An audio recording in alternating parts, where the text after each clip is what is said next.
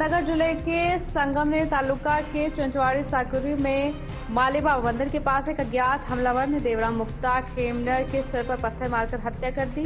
बालू देवराम खेमनेर ने 19 जनवरी को खारगांव पुलिस स्टेशन में शिकायत की, जिसके बाद 302 के तहत मामला दर्ज किया गया।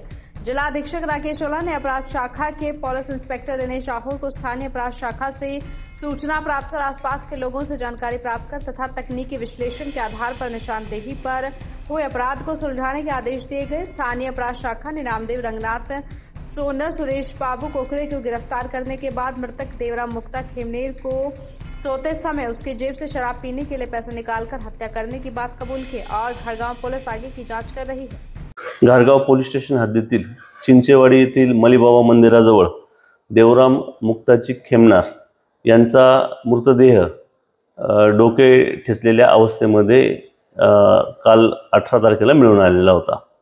त्याप्रमाणे अज्ञात व्यक्तीविरुद्ध खुनाचा गुन्हा दाखल करण्यात आलेला होता. स्थानिक गुन्हे शाखेचे पी एस आय धाकराव व कर्मचारी यांचे पथक तपासकामी नेमण्यात आलेले होते. सदर पथकाने आजूबाजूच्या परिसरामध्ये माहिती काढून संशयित इसम सुरेश बाबूराव कोकरे याला ताब्यात घेतले होते.